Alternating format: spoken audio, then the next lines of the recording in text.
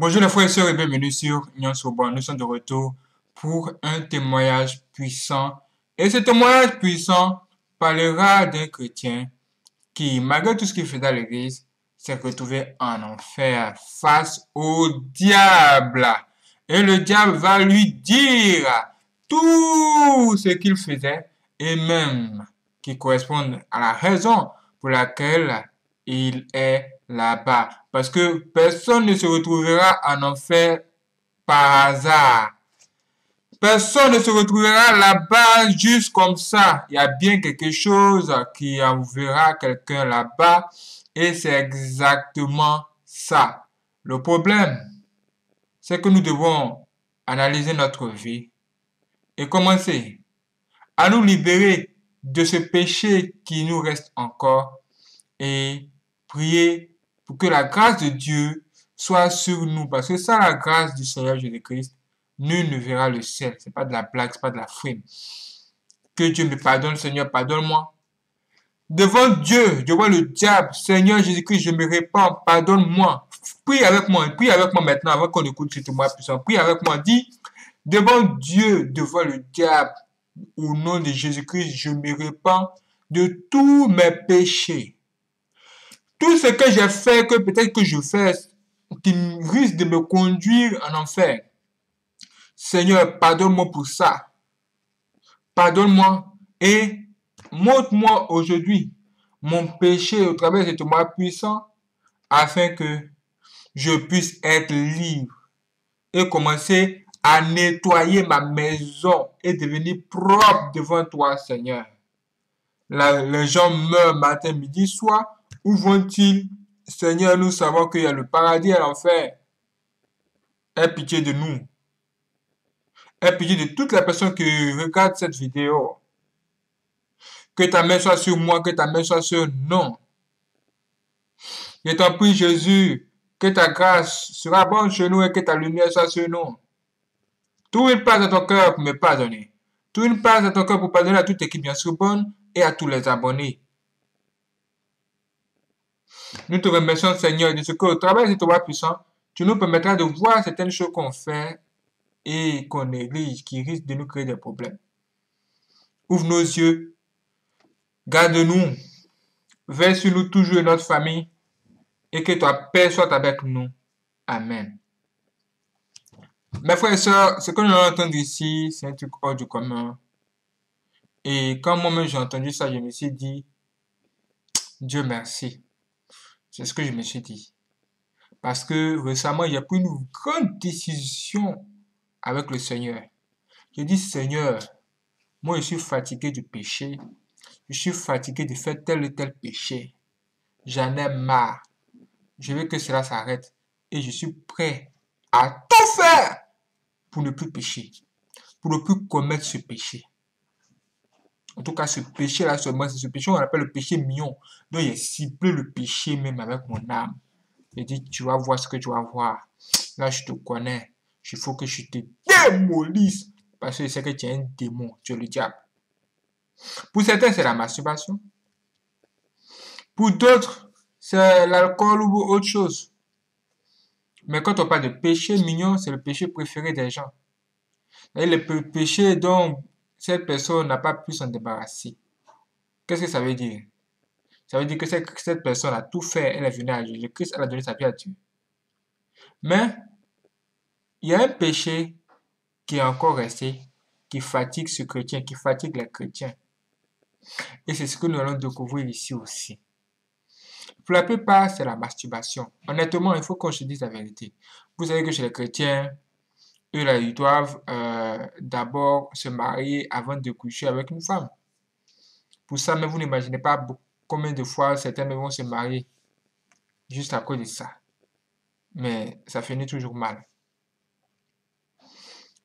la masturbation est décidément le péché qui fait peur à tout le monde. Beaucoup de personnes ne pensent pas que la masturbation c'est un péché. Hein. En tout cas, moi, je vous dis, si quelqu'un vous dire que la masturbation n'est pas un péché, n'écoutez pas cette personne. Toute immoralité sexuelle, c'est un péché.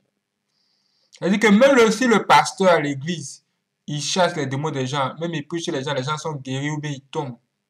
Si ce pasteur-là se masturbe ou il fait un quelconque péché sexuel, ce pasteur-là risque de moquer le ciel à cause de ça. Nous tous, on a fait ça. Nous tous, on a fait ça ici. Mais je vous dis ça comme ça parce que il faut qu'on touche le péché là même que vous faites afin que vous puissiez comprendre une bonne fois pour tout, afin que ça puisse bien entrer dans votre tête. Un conseil, hein. Commence à te débarrasser de toutes les images que tu as l'habitude de voir qui te, te font rappeler le sexe et qui te poussent à te masturber à un moment donné. Parce que c'est ce que le diable est en train de faire. Il est en train de, de, de, de créer des top modèles sur les réseaux sociaux afin que ces top modèles nous exposent tout le temps leur corps, leur, leur, leur partie. Elles vont même se faire, elles vont faire de la, chirurgie plastique. Elles se changent tout pour avoir un corps de rêve. Tout en train de se prendre des, des, photos sur les réseaux sociaux. Ça, ce n'est pas pour rien. Hein. Ce n'est pas pour rien. Nous sommes en guerre. Et le diable utilise ces gens de personnes, même les superstars, pour corrompre les âmes, détruire la vie des gens. Une star de la musique va faire une, un clip, un nouveau clip. Et de ce clip, vous allez voir la star de la musique, elle va montrer ses fesses, elle va danser, elle va rouler ses fesses comme ça, et ça s'appelle le twerk. Vous, vous regardez ça, vous vous dites quoi? Vous dites, oh, elle a dansé, oh, regardez comment elle a remué son postérieur. Mon frère, le diable t'attaque. Il est en train de t'attaquer comme ça. Il est en train de t'attaquer comme ça. Il est en train de l'utiliser comme une sorcière pour t'attaquer. Toutes les femmes qui font des clips et qui exposent les fesses, en fait les postérieurs, qui veulent même, toutes les femmes qui veulent même que les gens regardent les postérieurs, et pour ça, elles se dérangent, elles remuent comme ça. Toutes ces femmes-là, en général, hein, elles sont des sorcières. Elles vous lancent des sorts. Parce que si tu regardes ses fesses, tu vas avoir des idées. C'est là que le péché commence. Et juste à cause de ça, toi, tu peux te retrouver dans les problèmes. Moi, j'ai décidé à partir de ça hein, que affaire de femmes, fesses de quoi, quoi, quoi, quoi.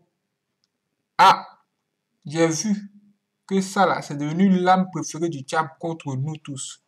Que tu sois chrétien ou pas, c'est une âme du diable contre toi. Méfie-toi, revois ta manière de regarder les femmes. La manière dont tu regardes les femmes, là, mon frère chrétien, ma, mon frère, tu dis que tu es un croyant, tu crois en Dieu. Mais la manière dont tu regardes les femmes, là, ça ne plaît pas à Dieu. Quand tout le temps que tu regardes une femme, soit c'est sa poitrine, ou bien c'est son postérieur. Ah! Ça, ça te dit rien. Et regarde même à la télévision, le diable a utilisé les superstars pour conditionner l'esprit des gens à penser ainsi, ou encore il a transformé le comportement des humains. Aujourd'hui, même quand une fille marche et qu'elle sent qu'elle n'a pas un postérieur remarquable, elle fait tout pour que le personne ne sache qu'elle elle, a été passer ou elle montre quoi que ce soit de ce genre. Donc elle va porter des robes très longues. Ça c'est même quoi? Bon. Témoin puissant est réel.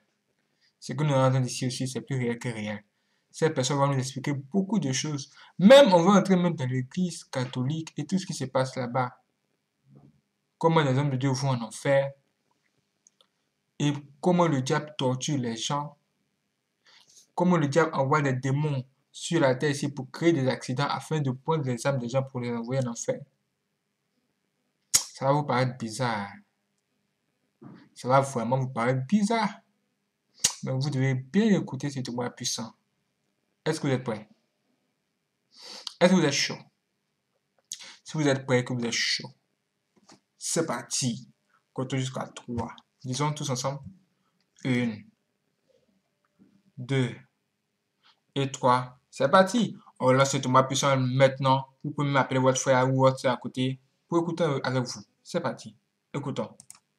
Ces choses sont arrivées quand j'étais encore adepte de l'Église. Un jour, je suis allé rendre visite à un ami parce que cela fait longtemps que nous ne nous sommes pas rencontrés. Mais quand je suis arrivé chez lui, malheureusement, il n'était pas là. Puisqu'il n'était pas chez lui, j'ai continué à rendre visite à un autre ami dans le quartier. J'en ai profité parce que cet arrondissement était un peu loin. Après la visite quand je rentrais chez moi, j'ai commencé à me sentir comme si j'avais un problème respiratoire, même si je ne souffre pas de ce problème de respiration. Quand je suis entrée à 8 heures à la maison, c'était déjà la nuit, j'ai trouvé des gens assis là, après les avoir salués je me suis allongée sur la chaise pour me reposer car le problème respiratoire persistait. Quand je me suis allongée je voulais me reposer. Mes yeux étaient fermés mais je ne dormais pas. Alors que j'avais les yeux fermés, j'ai vu un esprit sortir du mur de notre enceinte. Quand je l'ai regardé, j'ai vu qu'il avait la forme d'une ombre.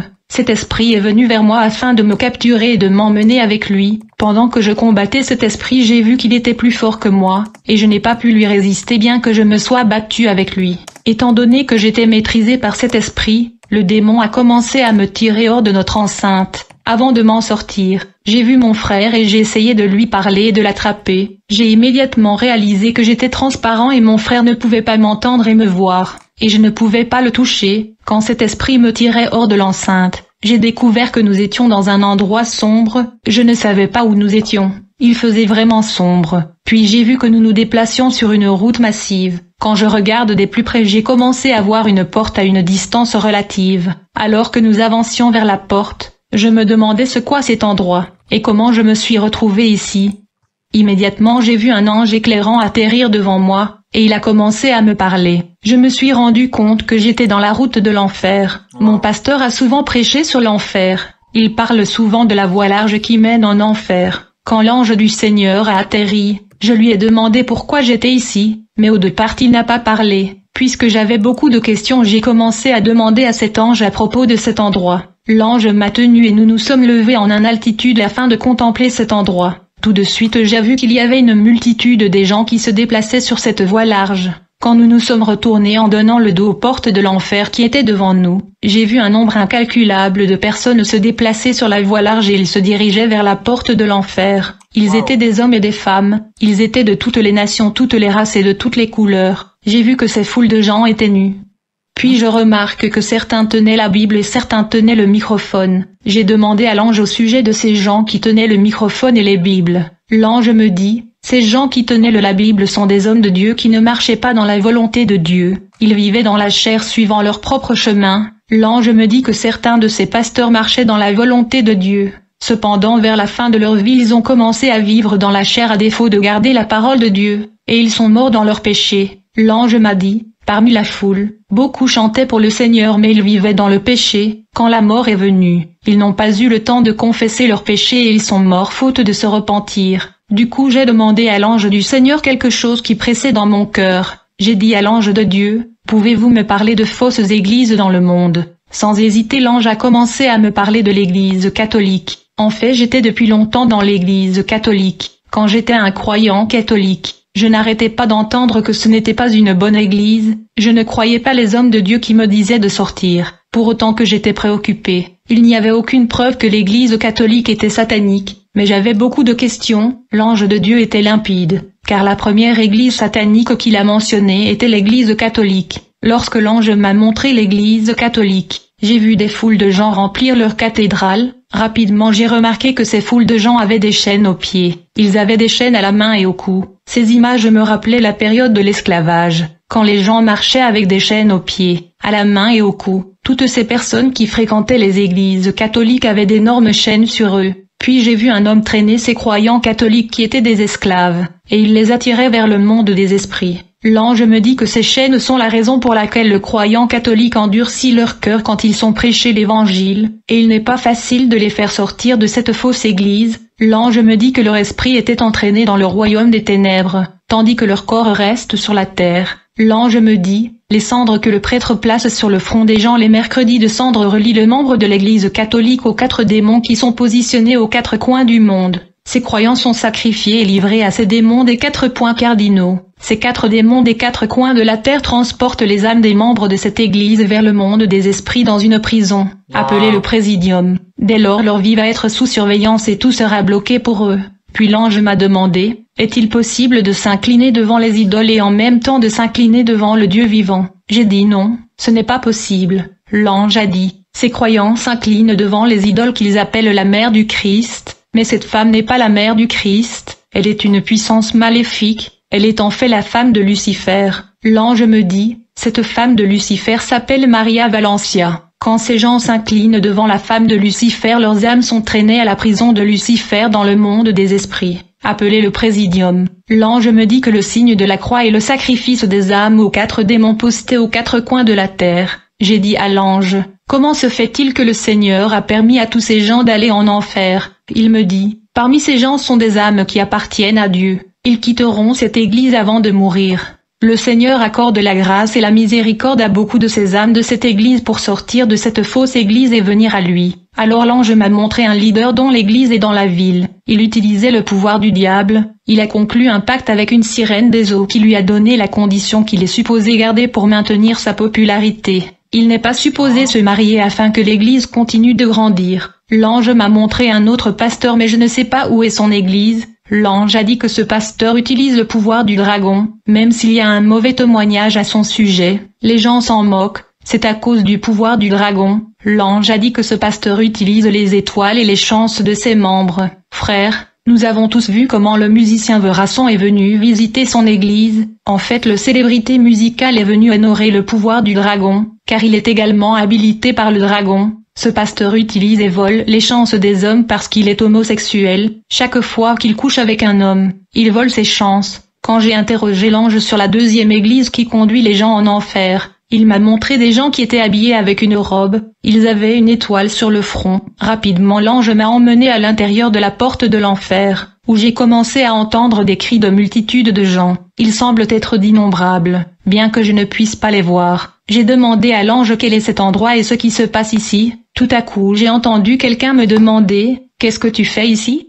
Même si je ne pouvais pas voir le visage de la personne qui me parlait, j'ai dit je dormais mais je ne sais vraiment pas comment j'ai atterri ici. L'homme qui me parlait me dit « Je suis ton grand-père ». Puis on se mit à discuter. Quand je parlais avec mon défunt grand-père, j'ai entendu une autre voix me demander « Qui tu étais ?» Quand j'ai regardé la personne qui me parlait, j'ai vu un démon énorme et géant. Ce démon est venu me saisir, et il m'a emmené dans un endroit où j'ai vu un trône massif, sur lequel était assise une entité. J'ai remarqué que ce trône était entouré de nombreuses torches de feu qui servaient de lumière illuminant le trône. Je me tenais devant le trône du diable qui se moquait de moi. Il me dit, vous vous vantiez de ne jamais venir à cet endroit. Maintenant je t'ai eu. Immédiatement je me suis rendu compte que j'étais en enfer, car j'ai été prêché à propos de cet endroit à de nombreuses reprises. Le diable me jugeait et il a projeté ma vie sur un grand écran. Et il me dit, je sais que les gens du monde aiment cet endroit et comme ils aiment l'enfer ils viendront tous ici comme vous. Vous allez à l'église et servez votre Dieu. Mais c'est sans valeur et en vain. Quand le diable parlait j'ai vu une scène sur l'écran. Je me souviens de ce moment de ma vie, et dans cette scène, le pasteur prêchait sur l'enfer et j'étais parmi les frères qui distribuaient des brochures et des invitations aux gens de venir entendre la parole de Dieu. Le diable a projeté l'image de mon service dans l'église et dit, tout ce service à votre Dieu était en vain. Vous battiez votre poitrine dans le monde en vain. Je savais que vous finiriez ici. Quand le diable a parlé ainsi, c'est alors que j'ai commencé à pleurer et à implorer la grâce du Seigneur. J'ai dit Seigneur, aie pitié de moi et sors-moi d'ici. Le diable me dit, d'abord nous allons vous couper la main parce que vous prenez des biens des gens sans autorisation. Il a immédiatement donné l'ordre à un démon qui m'a coupé la main. J'ai crié au Seigneur et lui ai demandé pitié. J'ai dit au Seigneur, souviens-toi de quelque chose que j'ai fait pour vous et sortez-moi d'ici. Le diable me dit tout ce que vous demandez à Dieu ici. Vous ne l'obtiendrez pas et personne n'entendra vos cris ici. Il n'y a pas de sortie et pas de route pour retourner sur terre. Rapidement j'ai vu que ma main qui a été coupée commençait à repousser. Tandis que je pleurais le diable dit à ses serviteurs, cet homme utilisait sa bouche pour dire des choses qui étaient des mensonges. Je veux que vous lui brûliez la bouche. J'ai vu des démons prendre de l'eau qui était chaude, ils la versent sur ma bouche. J'ai été brûlé. Je n'arrêtais pas de pleurer au Seigneur de me pardonner et d'avoir pitié. J'ai dit Seigneur, souviens-toi du peu que j'ai fait pour toi. Quand je pleurais à Dieu le diable s'élevait et a commencé à rigoler, et il se frappait la poitrine. Il me dit, tout le peuple du monde viendront ici car ils aiment cet endroit. Même ces chrétiens qui se battent la poitrine viendront ici. Le diable a dit à ses serviteurs, mettez cet homme de côté, j'aurai besoin de lui plus tard. Immédiatement les démons sont venus et ils ont enchaîné ma main et ils m'ont placé dans une cellule sur le côté. Je pleurais dans cette cellule. Puis j'ai senti quelqu'un touchant mon épaule dans cette cellule. Il m'a demandé, mon fils, pourquoi pleures-tu sans regarder la personne qui me parlait? J'ai dit, je ne sais pas pourquoi je suis ici, j'étais assis sur la chaise à la maison mais je ne sais pas comment je me suis retrouvé ici, a dit la personne qui me parlait. Beaucoup de gens aiment ma musique au Congo, mais c'est ici que j'ai fini. Quand elle a parlé de cette façon, j'ai reconnu et me suis souvenu de la voix de notre défunte sœur Marie la chanteuse évangélique. J'ai dit, Sœur Marie, es-tu vraiment ici en enfer? Quand j'ai vu ma sœur Marie, j'étais certain que tout ce que j'avais entendu sur l'enfer était vrai. J'ai commencé à pleurer de plus en plus. Puis j'ai vu le diable se lever de son trône, et il a invoqué un démon au nom de Lilith. Quand la déesse Lilith est venue, le diable lui a dit, Lilith, je t'envoie dans le monde pour concevoir une lotion de beauté et un produit qui rendront les femmes séduisantes et belles. Allez dans le monde et concevez des vêtements de mode qui exposeront la nudité des femmes et les rendront attrayantes, de sorte que le monde tombera dans l'immoralité sexuelle. Après avoir parlé à Lilith, le diable convoque un autre mauvais esprit. J'ai vu qu'il était exactement comme Superman, quand ce démon est venu devant le trône. Le diable lui a dit, Tu vas dans le monde, tu vas dans les villes du monde, et tu vas dans les régions, les quartiers et les rues. Vous soufflerez une fumée de maladie qui attaquera la famille. Vous soufflerez un air de division sur des familles pour qu'ils soient en conflit et dans la séparation. Vous soufflerez un air mauvais qui écrasera et détruira les familles de la terre. Après avoir adressé Superman,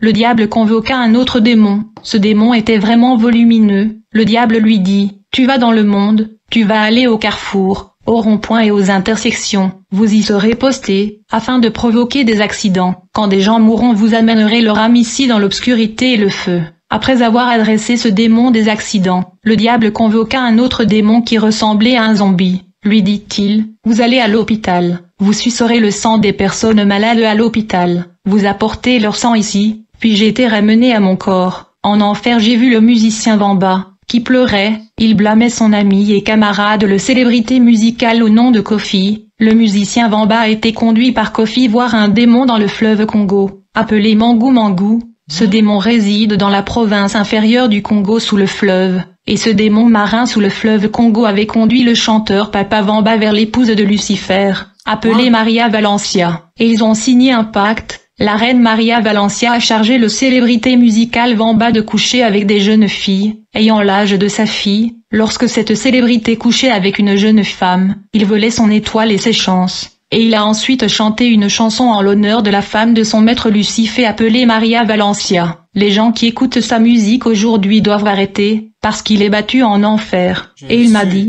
donne ce message à Kofi, dis-lui que je t'ai mort avec la colère dans mon cœur envers lui, mais tu vas lui dire abandonner le type de vie qu'il mène, qui est le genre de vie que je menais, qui est de coucher avec des jeunes filles, c'est comme ça qu'il ne viendra pas ici. Aïe, aïe, aïe, aïe, aïe, aïe, aïe.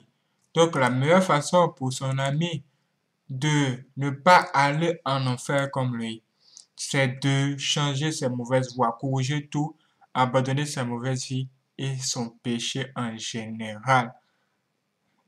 Vous avez entendu ça? Vous avez entendu ça? Est-ce que c'est ta blague? Est-ce que ce sont des histoires? Aïe, aïe, aïe. Les gens meurent matin, midi, soir, on ne sait pas où ils vont. Les gens meurent matin, midi, soir, mais on ne sait pas où ils vont, on ne sait pas. Et regardez ce qu'on vient d'entendre. Appelle ton frère, appelle ton frère. Dis, mon frère, viens écouter ça. Appelle ta soeur aussi, appelle ta soeur. Dis, dis, ma soeur, viens écouter ça. Appelle maman, appelle papa. Appelle grand-maman, appelle grand-papa. Faut au village. Faut faut poser la question. Qu'est-ce que vous dites Qu'est-ce que vous pensez de ça? Les gens peuvent raconter ce qu'ils veulent. Mais quand on est face à la mort, tout le monde comprend. Les gens meurent, là tout le monde croit. Nous devons croire que Jésus est Seigneur. Seul le Seigneur de Christ peut nous aider. Donne ta vie à Jésus-Christ aujourd'hui ou donne ta vie à Jésus-Christ aujourd'hui. Maman, donne ta vie à Jésus-Christ aujourd'hui ou donne ta vie à Jésus ou abandonne ton péché. Les gars, si vous avez deux goûts, abandonnez ses copines. Rangez votre vie. Les filles, si vous avez trois gars, abandonnez ces gars, rangez votre vie. Il est préférable de sauver sa vie que de mourir. L'argent ne sert qu'à ceux qui sont vivants. Sinon, ceux qui sont morts, ils n'en ont plus besoin. Les difficultés et les soucis de la vie, ce sont les choses de ce monde. Après la mort, on n'en parle plus. Parce qu'après la mort vient le jugement. En tout cas, moi, je suis content. Je suis content parce que même avant d'avoir regardé ce tombeau puissant, j'ai cru. J'ai cru en Jésus-Christ, oh, j'ai cru et j'ai dit à Jésus, sincèrement, je suis fatigué de pécher. Je veux vraiment que cela s'arrête. Et je suis même prêt à tout faire pour ne plus retomber dans mon péché. S'il ne faut plus que j'aille là où j'ai l'habitude d'aller, je ne vais plus aller là-bas. Même si j'aime ça. Les frères et sœurs, soyez très vigilants. Veillez sur vous, les, les portes de vos âmes. Veillez sur vos yeux, ce que vous voyez. Parce que le diable travaille beaucoup l'image, les images, les images que vous voyez à la télévision, l'imagerie des images sexy, des filles qui sont tout le temps en train de vendre le, rêve pour attirer les jeunes filles. Faites attention. Les oreilles, ce que vous entendez, la musique, n'écoutez pas n'importe quelle musique. Déjà, quand tu vois le clip, tu vois déjà des procédures qui sont en train de danser net. Ah, évite la musique en même temps. Évite tout ça. Ne prends pas plaisir à écouter ça. Ta bouche, que de ta bouche sortent des paroles de bénédiction et de malédiction. Arrête de mentir. Tu mens trop. Toi, tu mens trop. Même quand tu, tu, tu, es couché, tu as, dormi, même tu mens. Même tu vois le diable, le diable vient à côté de toi, tu mens même au diable pour mettre dessus. Alors lui-même est le père du mensonge. Il va même te dire, mais ah, comment toi tu fais pour toi? Moi, je suis le diable. Moi, je suis le père du mensonge. Et puis, c'est moi, tu mens comme ça. Comment tu fais pour toi? Comment ça marche? Faites attention. Faites très très très attention. La vie est tout sauf un jeu. C'est pas de la rigolade. Nous devons vraiment nous réveiller et commencer à tout mettre en œuvre pour nous accrocher à Dieu. Tu peux croire la parole de Dieu comme ne pas croire, oui. Tu peux croire la parole de Dieu comme ne pas croire. Mais moi, je te dis, si tu ne crois à rien, Crois en Jésus. Jésus, il est réel. Moi, je l'ai vu. Il m'a ramené à la vie à un moment donné de ma vie quand je, je mourais. Il m'a guéri, il m'a soigné plusieurs fois, pas plus tard même que cette semaine encore. Je lui dois tout. Tout ce qui se passe sur Soubonne, tout ce que vous voyez sur Soubonne, c'est Jésus. Je dois tout ça à Dieu. Je suis reconnaissant envers lui pour tout ce que j'ai aujourd'hui et tout ce que j'aurai. Même si les choses, ce sont les choses de ce monde. Mais si on doit utiliser ces choses pour pouvoir sauver des âmes comme ce que nous sommes en train de le faire, nous allons le faire. Mon frère, que mon travail ne, soit pas vain. Que mon job ne soit pas vain. Accepte Jésus-Christ maintenant. Dis Jésus, je t'accepte dans ma vie. Et je suis prêt à lutter pour démolir le péché afin de voir la gloire de mon Dieu sur sa montagne sainte. Amen. Rendez-vous pour la prochaine vidéo. Restez connectés. C'est parti.